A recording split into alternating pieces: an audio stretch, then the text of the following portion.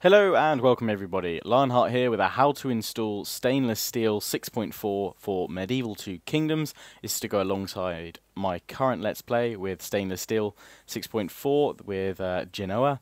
Uh, link to that is in the description if you haven't already checked it out. Please do. But anyway, a lot of you want to play along as well, so I'm going to try and keep this as short as possible for a mod install. But there are other things I do need to tell you along the way to to basically get it so that your mod installs fine and has no issues. So, without further ado, if you look in the description, you will find a link to the stainless steel download, which will bring you up onto this page. Now, the installation of 6.4, which is the latest um, currently uh, released version of stainless steel, requires um, 6.3 as its base. 6.4 is essentially a patch for stainless steel. 6.3 is the last kind of um, released standalone installed version.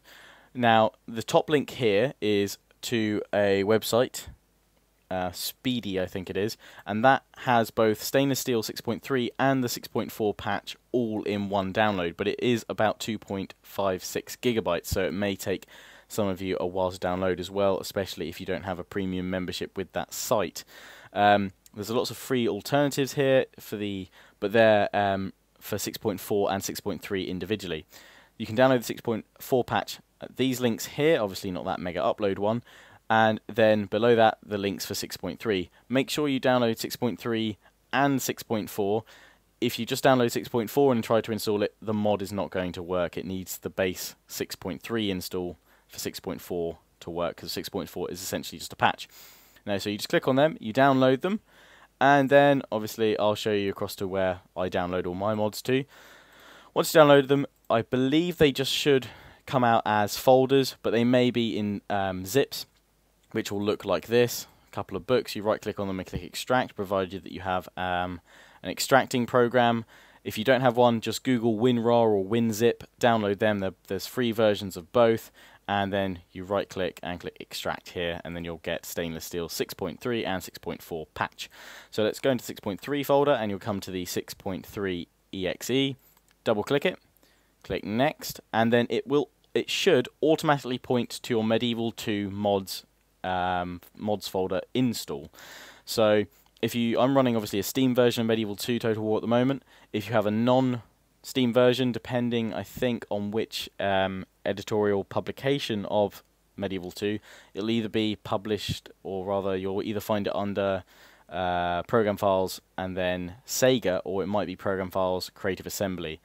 Um, I don't know which one because my my copy of Medieval 2 Total War comes under Sega, because um, it's one of the early copies. But perhaps uh, later editions may have been redone with the install path to Creative Assembly. But anyway, go to your Total War, uh, rather Medieval 2 Total War install. You know where it'll be, I'm sure. And uh, it'll just automatically point to that, creating a stainless steel 6.3 folder. You click next and it will install. I'm exiting the setup because I've already done that.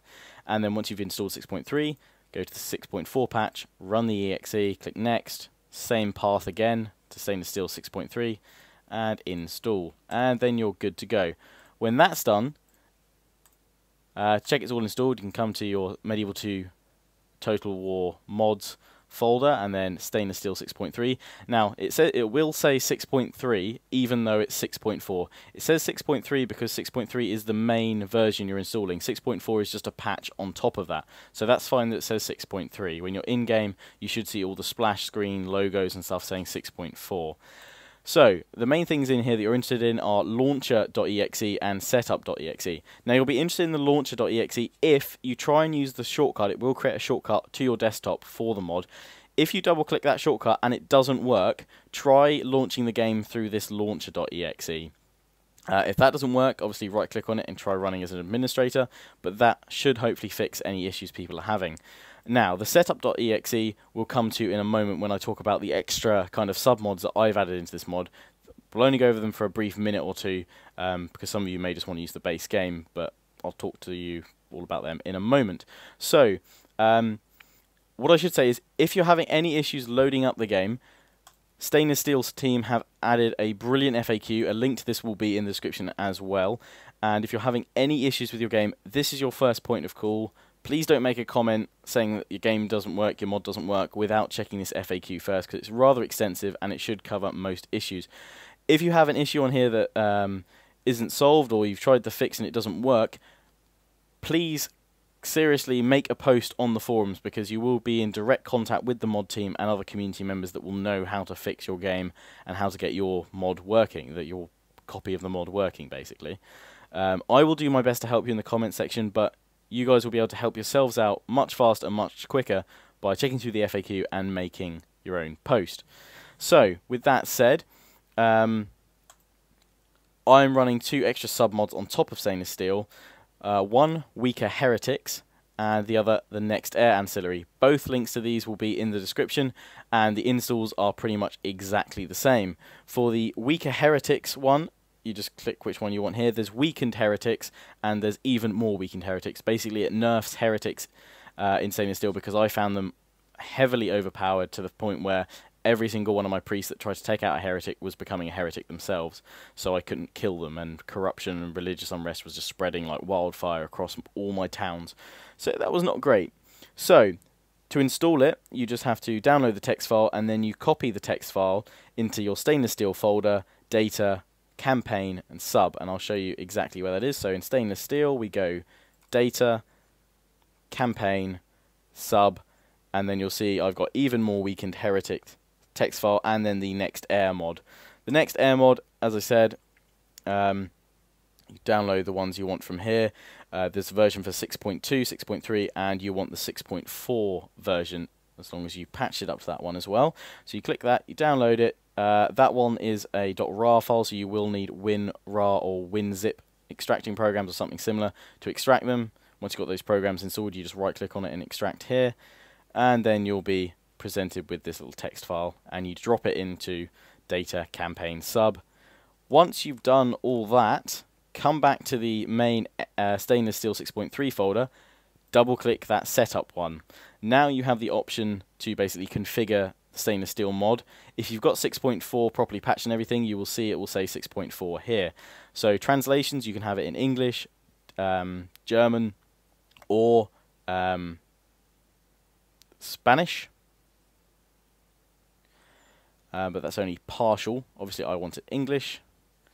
So um, once that's done, just click campaigns. Campaigns are the main bit you want to do, and you've got two options for campaigns: an early era campaign, which is what my Genoa Let's Plays on, or a late era campaign. The main difference is that certain factions will have slightly different starting locations, and obviously you'll have access to slightly more powerful units from the start of the uh, of the um, of the game. So once you've selected the one you want, so early era, you will then get a selection of various scripts and things that you want to run the, in the game. Now these are important, so don't skip through them. The top three are different AI levels. The top one is basically an all-out war AI. The second one is a very peaceful diplomatic AI. And the third is the one I'm going for, uh, the Savage AI, which is kind of a mix between war and peace. The next two bits are kind of optional extras for extra depth and realism. You can read them in your own time. And then if you've installed the next heir ancillary, that's where it will be tick that if you want to be able to choose your next heir as such. Um, I explain how that works in the first part of my Genoa Let's Play, so if you want to see how that works, because it's not your next direct heir as such, but it's kind of your next next heir. But that's just the only way they could actually get this sub mod to work in the game. Uh, then there's a real recruitment, which you can read about there.